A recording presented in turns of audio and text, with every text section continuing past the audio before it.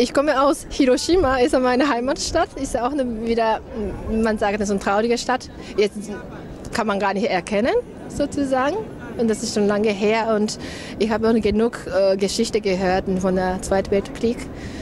Aber äh, man vergisst nicht und man denkt dann äh, das weiter und nicht immer negativ denken, positiv denken. Und dann, ich habe also vielleicht Sie merken überhaupt nicht, wenn Sie nach Hiroshima einmal kommen. Langsam die, diese äh, Atombombenopfer sterben aus und äh, man spricht nicht mehr darüber. Nur die Angehörigen sind da und die Betroffenen sind da nicht mehr so viel über.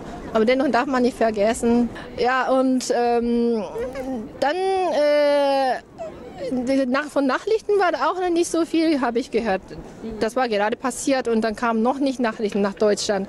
Und halb acht, gerade wenn mein Kind äh, zur Schule äh, losgehen wollte, da hat meine Schwiegermutter mich angerufen. Dann sagte sie per Telefon, ja, äh, Kyoko, guckst du mal den Fernseher? In Japan äh, ist Erdbeben passiert und dann so schrecklich, jetzt kommt er live. Naja, der Erdbeben alleine macht ja nicht so viel. Warum denn gerade so von der Fernseher? Da habe ich den Fernseher angemacht und dann habe ich gesehen, das war gerade von der Tsunami. Und dann, ich kann gar nicht so glauben, ne, was das war.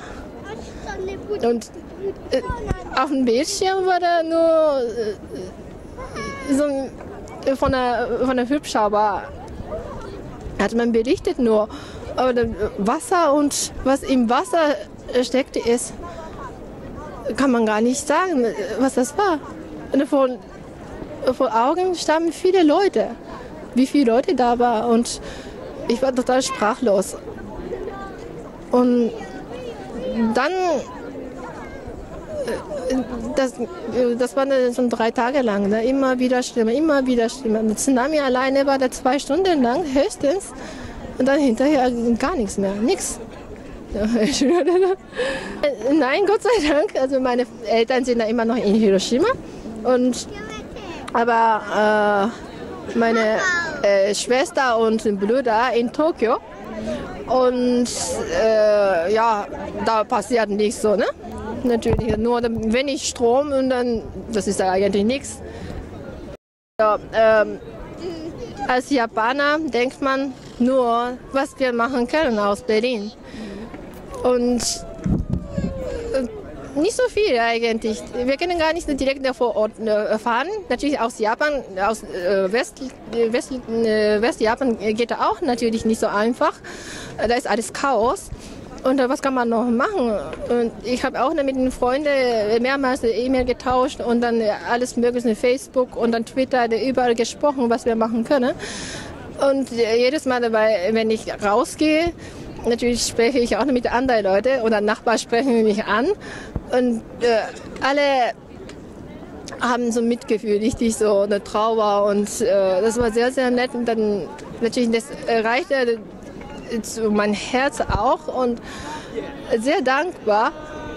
Und dann muss ich nämlich in diese ähm, äh, Mitgefühl von der äh, deutschen Bürger den deutschen Nachbarn und der Freunde äh, weiter. Ich muss irgendwas machen, damit man mehr helfen können. Und dann habe ich eine, von anderen Freundin auch gehört, er konnte auch nicht so in Ruhe sitzen.